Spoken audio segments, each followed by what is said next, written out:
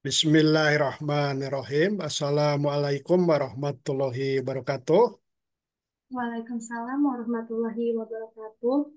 Pada video kewirausahaan kali ini kita akan membahas tentang startup ekonomi sirkuler dengan fokus pada bisnis yang mengurangi dan memanfaatkan limbah bersama Saudari Sadela Putri Ardana ya. Apa kabar Sadela? Alhamdulillah Pak baik. Ya. Bapak apa kabarnya? Alhamdulillah sehat ya, luar biasa. Ada di kota mana ini? Kota Tangerang Pak. Kota Tangerangnya atau Tangerang Selatan? Tangerang Selatan Pak. Oh, Tangerang Selatan. Jadi Tangerang ada tiga ya, kabupaten, kota, dan Tangsel. Sadela adalah seorang mahasiswi sistem informasi. Ya. Silahkan Sadela dimulai pemaparannya. Oke, selamat malam semuanya. Halo, perkenalkan nama saya Syedil Putihardana. Saya dari Fakultas Ilmu Komputer dari Sistem Informasi. Nah, pada kesempatan kali ini saya ingin membahas sebuah eh, materi yaitu startup ekonomi sirkular yaitu fokus pada bisnis yang mengurangi memanfaatkan limbah.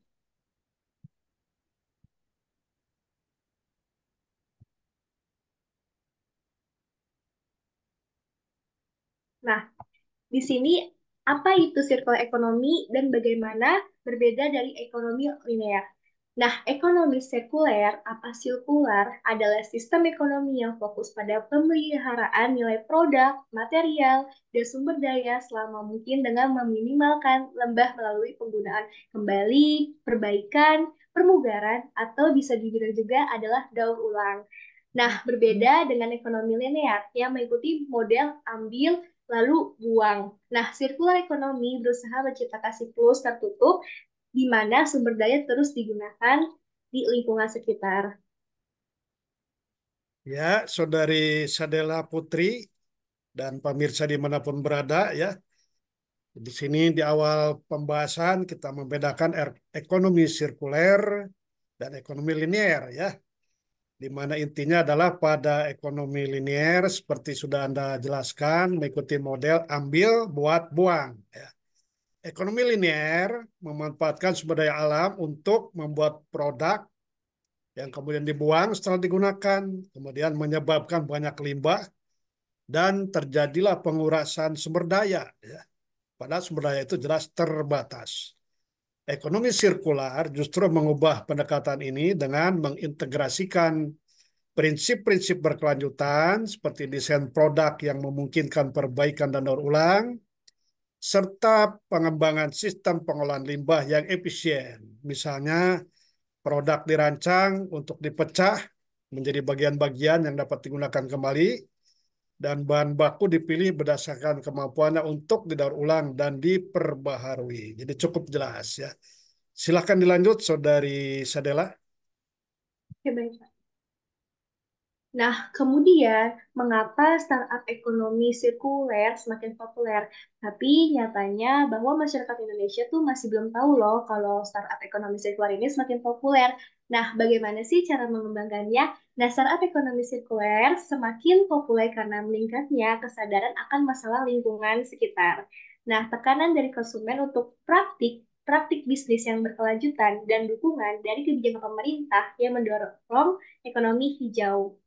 Ya, Saudari Sadela dan pemirsa di mana pun berada, di sini ada fakta bahwa startup ekonomi sirkuler semakin populer. Kenapa demikian? Nah, ini tadi sudah dijelaskan ya. Ini karena juga eh, termasuk krisis iklim dan degradasi lingkungan telah menjadi isu global ya, yang mendesak untuk segera ditangani ya. Dan konsumen sekarang makin pintar lebih sadar akan dampak lingkungan dari pilihan mereka dan cenderung mendukung bisnis yang ramah lingkungan ya. Selain itu banyak pemerintah di seluruh dunia ya, baik di Eropa, di Asia, di Amerika dan sebagainya ya, yang telah mengimplementasikan kebijakan dan insentif untuk mendorong praktek bisnis yang berkelanjutan. Seperti pengurangan pajak untuk perusahaan yang menggunakan energi terbarukan atau meminimalkan limbah ya Hal ini menciptakan peluang bagi startup untuk mengisi kebutuhan pasar yang berkembang pesat dengan solusi yang inovatif. Silakan dilanjutkan, Saudari Sadela. Nah, di sini memiliki manfaat utama dari model bisnis ekonomi sirkular bagi perusahaan, yaitu pertama, pengurangan biaya produksi, yang kedua, peningkatan efisiensi sumber daya, yang ketiga, penciptaan nilai tambah dari produk bekas, dan yang terakhir, meningkatkan citra merek dan daya saing di pasar yang semakin peduli dengan lingkungan. Ya, sangat jelas sekali, Saudari Sadela ya. Di sini bahwa manfaat utama dari model bisnis ekonomi sirkuler bagi perusahaan ya, seperti yang sudah Anda jelaskan tadi ya.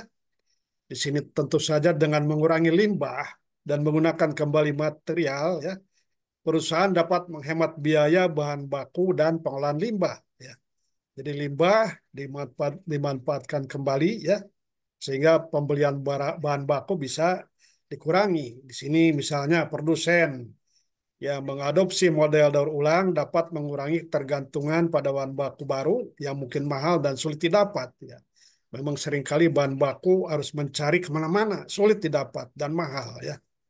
Selain itu, praktek ekonomi sirkuler dapat meningkatkan efisiensi operasional ya, seperti mengurangi energi yang diperlukan untuk produksi dan dari perspektif pemasaran, perusahaan yang menerapkan model bisnis berkelanjutan dapat menarik konsumen yang peduli lingkungan ya.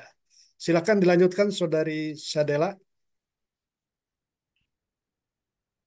Nah, kemudian bagaimana sih teknologi berperan dalam mendukung ekonomi sirkular ini?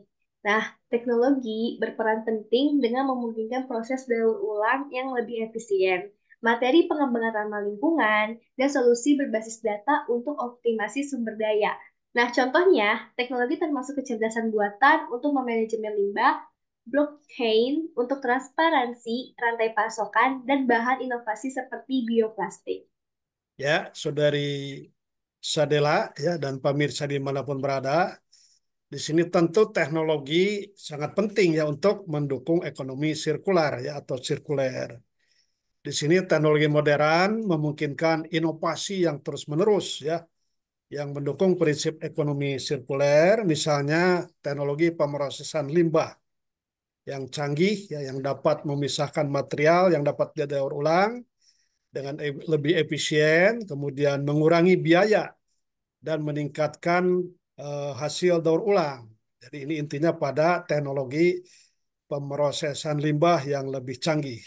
Kemudian kecerdasan buatan juga ya.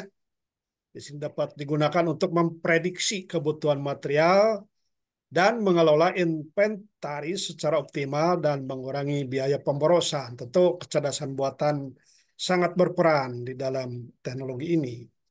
Silakan dilanjutkan, Saudari Sadela.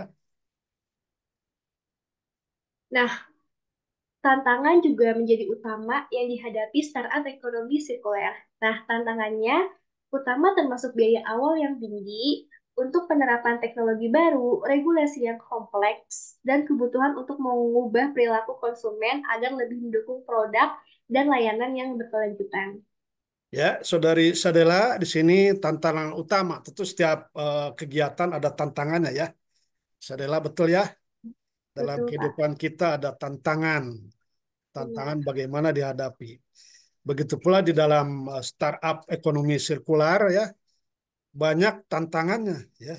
Seperti yang sudah Anda jelaskan, termasuk biaya awal dan sebagainya ya di sini memang implementasi model bisnis ekonomi sirkuler sering memerlukan investasi awal yang signifikan dalam teknologi ya, infrastruktur dan pelatihan. Nah, jadi perlu biaya ya, perlu investasi untuk teknologi yang terkini yang terbaru ya, infrastruktur yang terbaik dan pelatihan ya, pelatihan kekinian. Di sini startup harus mengembangkan atau mengadopsi teknologi baru yang mungkin mahal dan membutuhkan waktu untuk menghasilkan pengembalian investasi. Ya, tentu saja di sini tidak mudah ya mengadopsi teknologi baru itu ya. Karena nanti bagaimana investasi bisa kembali. Dan saudari Sadela di sini regulasi di berbagai negara atau wilayah bisa menjadi penghalang, ya, terutama jika aturan tidak jelas atau kurang mendukung ekonomi sirkular, sirkular ya, tetapi lebih cenderung mempertahankan model ekonomi tradisional atau linear ya. Di sini startup juga perlu mengedukasi konsumen tentang manfaat produk dan layanan berkelanjutan ya. Dan mengubah perilaku konsumen itu merupakan tantangan besar. Karena tentu saja melibatkan perubahan kebiasaan, sikap, persepsi ya yang sudah lama terbentuk. Ya, jadi orang sudah lama tidak peduli lingkungan, sudah lama tidak peduli uh, bahan bakunya dari mana, sekarang harus lebih peduli bagaimana limbah itu, sampah itu jangan sampai menumpuk sehingga menutupi seluruh permukaan dunia. Ini harus dipikirkan lebih lanjut. Itu akibat uh, limbah-limbah produk industri ya. Sekarang bagaimana daur ulangnya, bagaimana pengolahan limbahnya melalui ekonomi sirkuler. Silakan dilanjutkan, Saudari Sadela Putri Ardana. Oke. Nah, beberapa contoh startup ekonomi sirkuler. Nah, contoh sukses termasuk Loop yang menawarkan ya, layanan pengemasan ulang yang memungkinkan konsumen mengembalikan kemasan untuk diisi ulang, yaitu daur ulang, dan Terrakyl yang menggerakkan diri ke dalam mendaur ulang barang yang sulit dilakukan ulang seperti kemasan produk konsumen. Ya, Saudari Sadela, di sini contoh sukses dari ekonomi sirkuler ya. Seperti sudah Anda jelaskan bahwa Loop bekerja sama dengan merek-merek besar untuk menyediakan layanan pengemasan ulang. Menarik sekali ya. Jadi ada pengemasan ulang. Konsumen membeli produk dalam kemasan yang dapat dikembalikan setelah digunakan untuk diisi ulang. Sehingga mengurangi limbah kemasan sekali pakai. Nah, dalam produk air minum misalnya ya, biasanya isi ulang ya. Nah, sekarang ada produk yang justru sebaliknya ya. Jadi plastiknya atau galonnya baru terus. Nah, ini tentu bertentangan dengan prinsip uh, ekonomi sirkuler ya. Kemudian juga ada yang perusahaan yang mengoperasikan program daur ulang untuk berbagai jenis produk dan kemasan yang biasanya tidak diterima oleh program daur ulang konvensional. Dan mereka mengubah limbah ini menjadi produk baru ya seperti perabotan ya, peralatan taman dan perusahaan-perusahaan tersebut menunjukkan bagaimana inovasi itu penting dalam pengelolaan dan penggunaan kembali limbah hingga menghasilkan model bisnis yang sukses dan berkelanjutan. Nah, kita kehidupan sehari-hari di rumah saja misalnya di tempat Sadela atau di tempat saya ya. Berapa banyak uh, sampah atau limbah dihasilkan dari satu rumah saja ya. Plastiknya berapa kertasnya berapa bahan-bahan organik dari sisa makanan berapa dibuang begitu saja tanpa pemilahan. Padahal itu semuanya material yang penting kalau di daur ulang ya. Semuanya mengandung bahan-bahan penting. Karena ketidaktahuan karena kekurang pedulian, karena tidak ada teknologi, tidak ada investasi, maka barang-barang itu, bahan-bahan itu, material itu terbuang percuma, ya, bahkan menumpuk menjadi sampah yang menggunung, ya, seperti di mana? Di Bantar Gebang, ya, tempat-tempat pembuangan air hanya dibakar, padahal itu bisa menjadi material, ya, untuk misalnya untuk uh, keperluan bahan bangunan, ya, dan sebagainya, ya, atau pupuk untuk pertanian, ya. Silakan dilanjutkan, Saudari Sadela.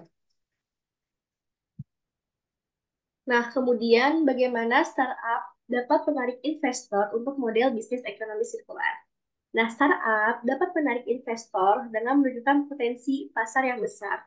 Nah, tentu memiliki inovasi teknologi yang unik dan dampak lingkungan yang positif. Nah, investor tertarik pada bisnis yang menawarkan solusi berkelanjutan dan dapat memberikan nilai atau value dalam jangka panjang. Ya, Saudari Sadela ya dan pemirsa di mana pun berada dari uh, video kewirausahaan ini, bagaimana startup dapat menarik investor untuk model bisnis sirkuler? Nah, ini penting seperti yang sudah Anda jelaskan ya. Untuk menarik investor, startup ini harus mengkomunikasikan dengan jelas ya bagaimana model bisnis mereka dalam mengatasi lingkungan ya, masalah lingkungan yang mendesak ya. Kemudian memenuhi kebutuhan pasar yang berkembang. Nah, ada dua sisi ya. Pertama, mengatasi masalah lingkungan. Kedua, memenuhi kebutuhan pasar. Lingkungan teratasi, limbah teratasi, sampah teratasi. Sementara kebutuhan pasar bisa dipenuhi. Nah, di sini startup harus menunjukkan bahwa mereka memiliki solusi yang scalable ya, scalable, scalable dan dapat diterapkan di berbagai pasar ya. Jadi harus ada solusi yang jelas ya untuk uh, persoalan tersebut yang ditawarkan oleh startup. Silakan dilanjutkan, Saudari Sadela. Nah, bagaimana caranya untuk kolaborasi antara sektor publik dan swasta dapat mendukung ekonomi sirkular? Nah, kolaborasi dapat terjadi melalui kebijakan yang mendukung insentif fisikal dan kemitraan untuk proyek berkelanjutan. Pemerintah dapat memberikan insentif dan pajak untuk penelitian, sementara perusahaan swasta dapat mengembangkan dan menerapkan solusi inovatif. Ya, Saudari Sadela di sini bagaimana kolaborasi antara sektor publik dan swasta ya dalam mendukung ekonomi sirkuler ya. Jadi ada pemerintah, ada swasta ya harus bekerja sama juga mendukung ekonomi yang mendaur ulang limbah ini ya. Di sini pemerintah dapat memainkan peran kunci dalam menciptakan lingkungan yang mendukung ekonomi sirkuler ya melalui antara lain regulasi, peraturan, kemudian kebijakan yang mendorong pengurangan limbah, dan penggunaan kembali sumber daya. Contoh, pemerintah dapat memberikan insentif pajak untuk perusahaan yang menggunakan bahan daur ulang atau yang berinvestasi dalam teknologi hijau. Nah ini harus diistimewakan nih perusahaan-perusahaan yang uh, mendaur ulang berbagai limbah, kemudian juga yang menerapkan teknologi hijau.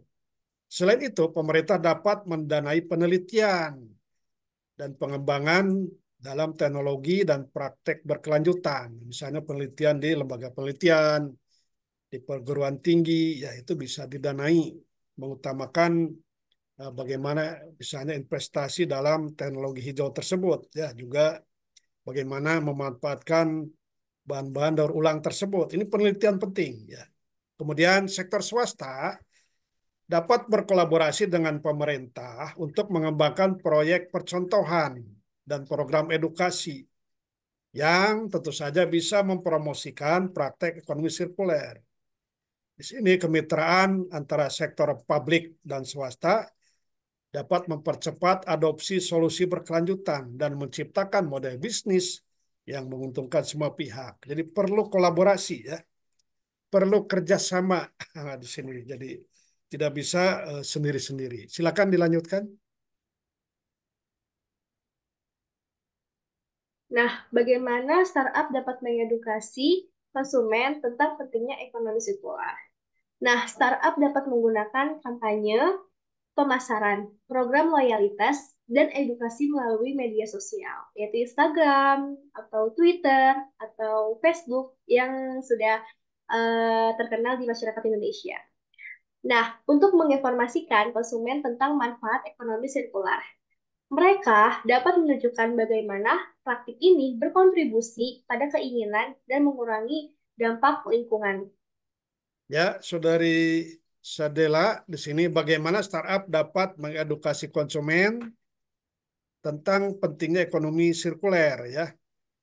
Di sini edukasi konsumen adalah kunci untuk mengubah perilaku dan meningkatkan permintaan akan produk dan layanan yang berkelanjutan. Nah, bagaimana si konsumen ini melek ya, benar-benar paham, benar-benar mengambil sikap dan tindakan untuk uh, memilih produk dengan layanan yang berkelanjutan ya di sini startup dapat menggunakan kampanye pemasaran yang menarik ya dalam menyampaikan pesan bagaimana pentingnya pengurangan limbah dan penggunaan sumber daya. Jadi sumber daya dimanfaatkan kembali.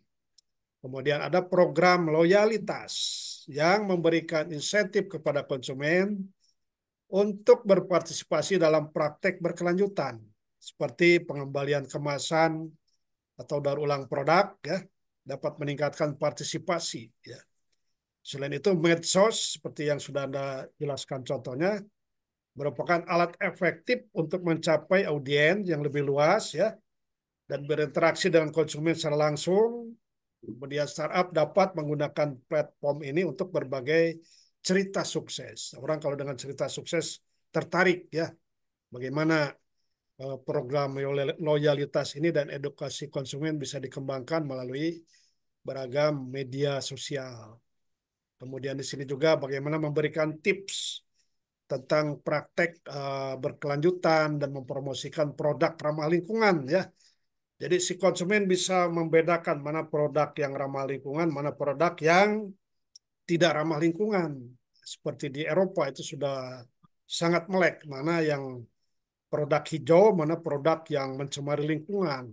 Produk yang mencemari lingkungan otomatis diboykot ya karena sudah jelas bakal merusak kehidupan di planet bumi ini.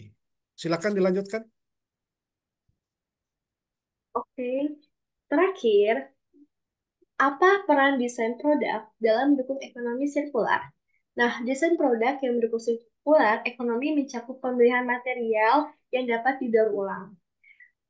Modularitas untuk perbaikan mudah dan desain yang minimal limbah. Produk harus dirancang agar mudah diperbaiki diambil kembali dan didaur ulang.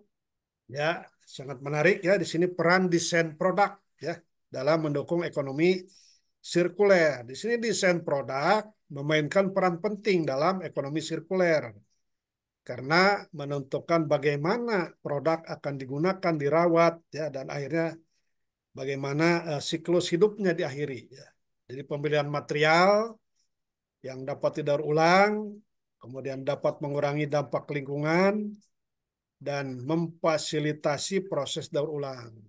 Nah, di sini modularitas dalam desain memungkinkan bagian-bagian produk diganti atau diperbaiki dengan mudah, kemudian memperpanjang umur produk dan mengurangi kebutuhan untuk membeli barang baru ya. Desain yang minimal meminimalkan limbah seperti penggunaan bahan yang efisien dan pengurangan komponen yang tidak perlu juga membantu mengurangi dampak lingkungan ya. Produk yang dirancang dengan prinsip-prinsip ini dapat mendukung model bisnis ekonomi sirkuler dan dapat menciptakan nilai tambah bagi konsumen dan perusahaan ya. Jadi intinya di sini bagaimana startup-startup itu harus uh, mengembangkan desain produknya. Jadi mungkin itu saja Saudari Sadela ya dan pemirsa di mana pun berada ya video kewirausahaan kali ini ya terima kasih atas perhatiannya wassalamualaikum warahmatullahi wabarakatuh. Waalaikumsalam warahmatullahi wabarakatuh. Terima kasih Bapak